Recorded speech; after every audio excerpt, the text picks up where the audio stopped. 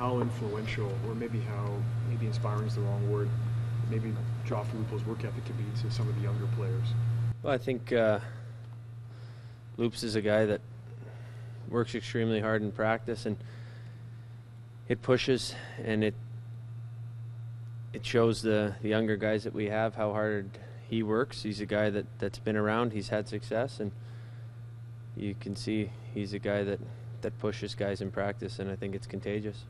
How has your relationship with Randy kind of evolved over a year plus? I think everyone has a, a real good understanding of how he, what he expects, how he, how he carries himself, and and what he expects from our group. So, when he came in last year at the end of the year, it was a, a period of a learning period of, of the change and the little change of the system, what he, how he, what he asks of his players, and what he expects of his players. So I think it's been a guys know where what he expects and, and how we stand. But as the captain, like, is there a difference between how you deal with him and maybe how you deal with Ron? Like, is there differences between? Well, they're two? they're two different uh, they're two different people. They're two different coaches, and they have different philosophies and different styles. So, I I like uh, I like working for Randy. He's uh, he's done a real good job here, and I have a I have a good relationship with him. He mentioned that he thinks he's seeing right now the benefits of not asking you to do as much as you were asked to do a year ago, which was to put in 28, 30 minutes of ice time a night. Do you feel that in your own body or in your between your own ears that uh, that you might be benefiting from um, Yes. not having to do quite so much? Yeah, it's.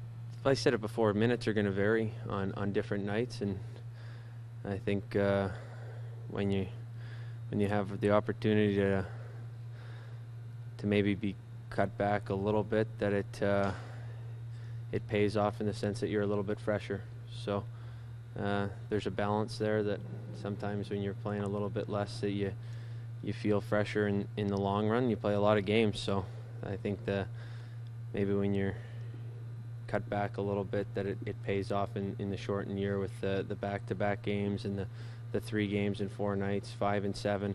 That's where you really uh, notice it.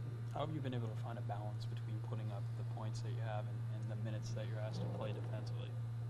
Well, you've got to first and foremost your job's to keep the puck out of your net, and that's my job is to, to be a guy that's dependable.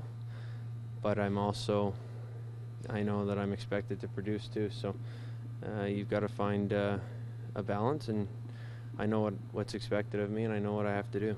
Are you enjoying being captain a bit more this year? When you anytime the team has success, it's uh, it's good. Whether you're, it takes everybody to have success, and that's why we've had some this year. Is that we've had efforts from from every guy. You look last night. There's a big fight by Mac and a big goal by Loops. I think every guy is contributing in our wins.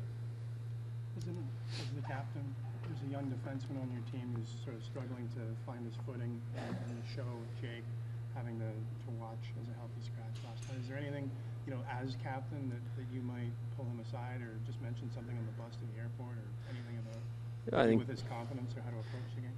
Yeah, I think the biggest thing is that you, for him, you don't want to, him to get down. He's he's a guy that he's got great skills. He he's a great player, and he'll he'll find his way back in the lineup.